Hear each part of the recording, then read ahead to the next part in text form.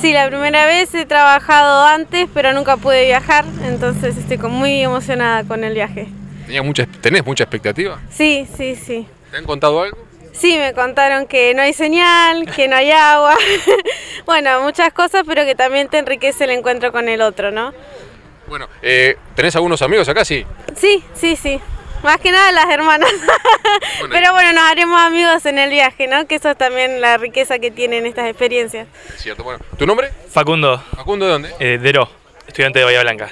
¿Venís tras la invitación de Nico? Me invitó Nico, es compañero de otras misiones y me comentó lo que hacen en Santiago del Estero y dije, me invitó a ir y dije, sí, sí, hay que ir. Bueno, ¿Tenés experiencia de, de otras misiones? Hay- He ido a otras misiones, pero la primera vez acá y la primera vez a un lugar eh, tan lejano, tan remoto, pero muy contento por poder compartir con, con todos ellos. ¿Ansiedad, expectativa? Mucha, mucha expectativa, muchas ganas de, de vivir, de vivir lo, lo que es un verdadero encuentro con, con Jesús. Es, es, digamos, difícil pensar, como decía Karen, ¿no? un lugar en el medio de la nada donde no tienen ningún tipo de servicio y donde te dice la hermana Marta, pero son felices. Exacto. Es difícil, pero creo que lo verdadero está ahí, en lo simple, en eso simple que vamos a ver. ¿Tu nombre? Milagros. ¿De dónde? De Bahía Blanca también. Va, Sí, soy de Bahía. ¿Y es la primera vez que misionás con este grupo?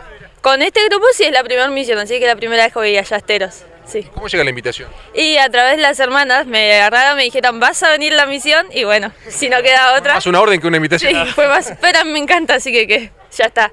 Bueno, Sí. y- o sea que la experiencia hace de que seguramente vas a poder aportar bastante, más allá de la incertidumbre con qué te vas a encontrar allá. Bueno, Y yo pienso que, o sea, aportar, aportamos todos un montón. Desde nuestros lugarcitos vamos aportando un montón y, y sí, uno como que ya sabe, pero el lugar ya cambia todo.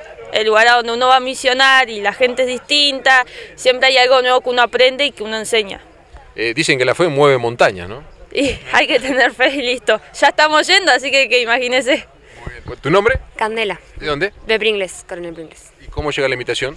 Por un amigo que conocí en la universidad, me invitó, nos conocí, yo lo llevé a un grupo de Pringles, él me trajo acá y así.